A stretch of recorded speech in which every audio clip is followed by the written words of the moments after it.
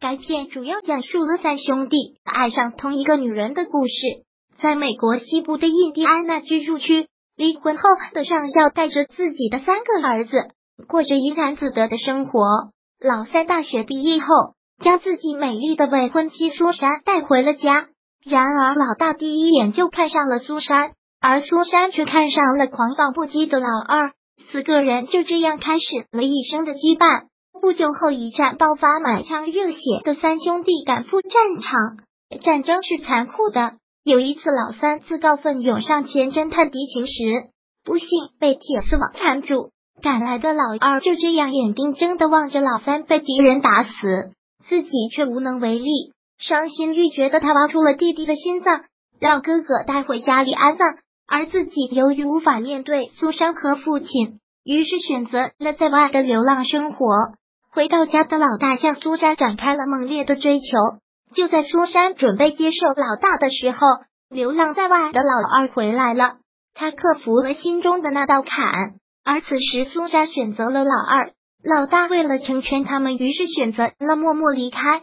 某一天，一头小牛犊被铁丝网缠住了。老二望着奄奄一息的小牛犊，弟弟死亡的阴影在他心中挥之不去。心病复发的他逃离了家乡，踏上了未知的远方。而漫长的等待也令苏珊心灰意冷。她决定嫁给一直苦苦追求她的老大，而父亲却认为此时的苏珊已经是老大的弟媳，父子俩因此发生矛盾，不再来往。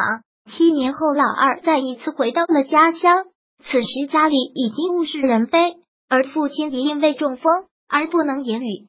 他重新开始了家乡的生活，并且娶了从小就爱慕自己的女孩，组建了幸福的家庭。老三的生活似乎趋于平静。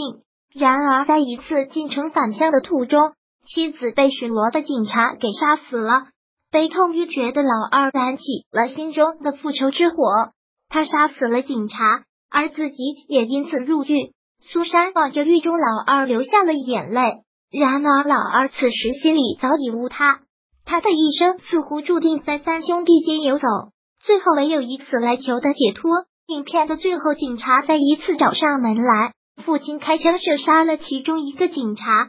就在老二被父亲挡子弹的时候，枪声再度响起，老大在后面杀死了另一个警察。父子俩也因此重归于好。套用电影中的一句经典台词：“有些人能清楚听见自己心灵的声音，并爱这个深夜生活。这样的人，不是疯了，就是成了传说。”爱你哦，么么哒。